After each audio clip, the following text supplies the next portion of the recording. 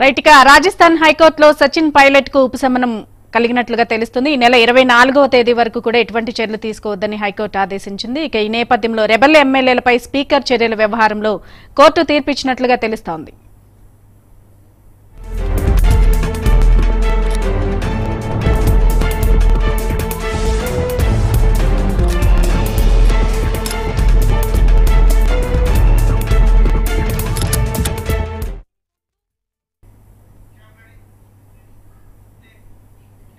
దీనికి సంబంధించి పూర్తి ఇన్ఫర్మేషన్ మా ఇన్పుట్ ఎటర్ నాగరాజు అందిస్తారు.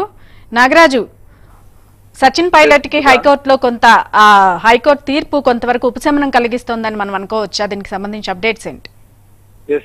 ఇప్పటికైతే సచిన్ పైలట్ వర్గానికి కాస్త ఒక ఒక ఊపిరి పీల్చుకునేటటువంటి అవకాశం లభించింది.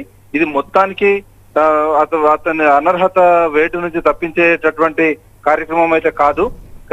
తాత్కాలికంగా ఈ స్పీకర్ తక్షణము నిర్ణయం వెలువరించకుండా ఉండేందుకు హైకోర్టు యొక్క ఈ స్టేన్ అయితే కాస్త వాళ్ళకు ఊపిరినిస్తుందని మనం చెప్పొచ్చు.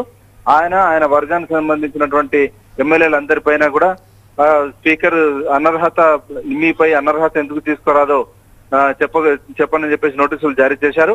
అయితే ఇక్కడ విప్ కాంగ్రెస్ విప్ జారీ చేసినా కానీ మీరు ఎందుకు రాలేదు? ఈ విప్ జారీ చేసిన ఒకటి రెండు మూడు సార్లు జారీ చేసినా మీరు రాని మీ పైన ఎందుకు చర్యలు తీసుకోకూడదు? మీ సభ్యత్వాన్ని ఎమ్మెల్యే పదవిని ఎందుకు అనర్హులను మీకు చేయకూడదో చెప్పాల్సిందిగా పేర్కొంటూ ఆ స్పీకర్ నోటీసులు జారీ చేశారు. దీనిపైన హడావిడిగా ఎందుకంటే ఇక్కడ అనర్హత వేటు వేసే విషయం లోపల స్పీకర్ నిర్ణయమే తుది నిర్ణయం అవుతుంది. ఈ విషయం లోపల కోర్టులో అంతైన తర్వాత కోర్టులో చేయడానికి సుప్రీంకోర్టులో తప్ప మరెక్కడ సవాల్ చేయడానికి కూడా వీలుండదు. ఈ విషయం తెలిసినటువంటి సచిన్ పైలట్ వర్గం తాత్కాలికంగా తమకు ఊరట కలిగించేందుకు హైకోర్టు రాజస్థాన్ హైకోర్టును ఆశ్రయించారు. జైకోర్టులో మూడు రోజుల కింద హైకోర్టులో వేసినటువంటి పిటిషన్ పై ఈ రోజు కోర్టు తాత్కాలికంగా స్టే విధించింది. ఈ స్టే ప్రకారంగా మూడు రోజుల వరకు వీరిపై ఎలాంటి చర్య తీసుకోకూడదని చెప్పేసి ఆ స్టేలో రాజస్థాన్ హైకోర్టు పేర్కొంది. Sudha. Right Nagaraju thank you